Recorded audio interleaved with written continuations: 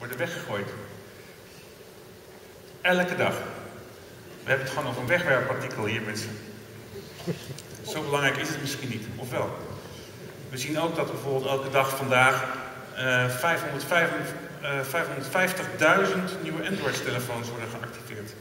Maar goed, die, uh, dat aantal wordt dus ook weggegooid. Het wordt een rollercoaster. Ik heb heel korte tijd en ik wil een heleboel dingetjes uh, behandelen. Dus we gaan grote, hoogtes, grote hoogtes en diepe dalen. even kijken. Nou, dit ga ik even overslaan, een filmpje over de rollercoaster. Ik ga het meteen hebben over de zeven massamedia.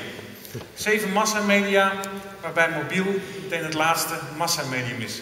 Eigenlijk met de uitvinding van de boekdrukkunst in 1500 was eigenlijk het eerste massamedium. Boekdrukkunst, uh, dingetjes die je echt kon hebben, die je mooi in de kast kon zetten. Eigenlijk al een beetje outdated, hoewel ik het nog steeds lekker vind om een boek te lezen. Uh, het tweede massamedium, dat liet uh, maar liefst 400 jaar op zich wachten. Dat was eigenlijk de audio recordings. eerst de oude plaatjes, de oude grammofoons, tot en met cd's, dvd's, tegenwoordig mp3'tjes of Spotify. Het derde massmedium was tien jaar later